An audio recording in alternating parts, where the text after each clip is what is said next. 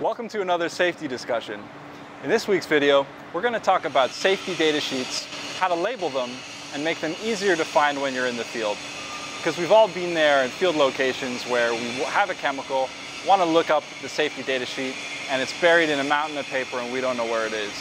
This is the system you're going to use to make it easier.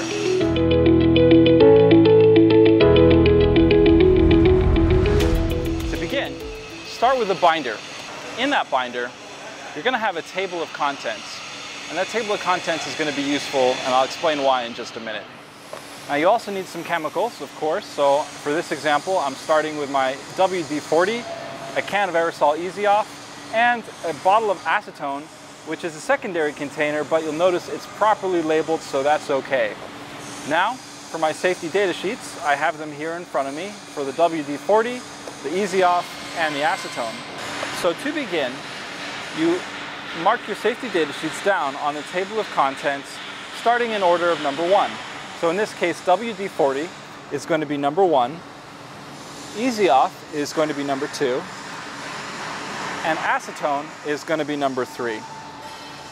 The next thing you'll need is something that you get at ASC, which is a specifically designed safety data sheet sticker. They look like this. I'm going to write on the stickers the numbers 1, 2, and 3 because I have three chemicals. So let's begin with number 1, number 2, and number 3.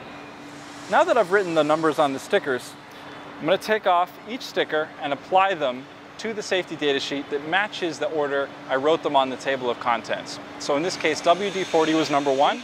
Now importantly, when you're applying stickers, don't cover any of the text on the sheet where that makes it difficult to read. Number two is going to go on my Easy-Off safety data sheet. And number three is going to go on the acetone safety data sheet. So here's where the new system comes into play. Now that these safety data sheets are labeled, one, two, and three, I'm going to get all the chemicals that apply to a given safety data sheet. So in this case, let's take WD-40 I'm going to get all my cans of WD-40, and for the example, I have one can of WD-40, and I'm going to write a number one to match however many cans I have. So I have one can of WD-40, so I'm going to write one on one sticker, take my sticker, and apply that to the can of WD-40. Importantly, not covering, again, any of the text on the can. Then I'm going to do the same for Easy-Off and acetone by writing the numbers 2 and 3. Now also when you're applying the sticker, don't apply it on the cap or the cover of the chemical. Apply it directly to the bottle because caps can go missing.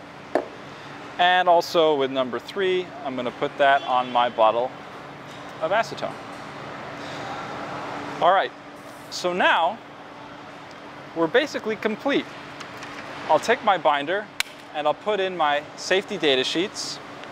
So that's going to be WD-40, Easy-Off, and acetone.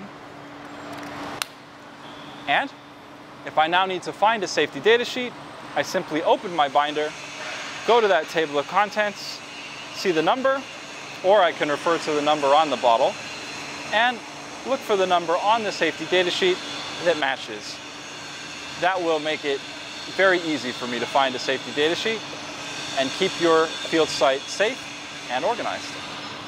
So good luck using this new system. And if you have any questions, you can always contact the safety department. Have a great week.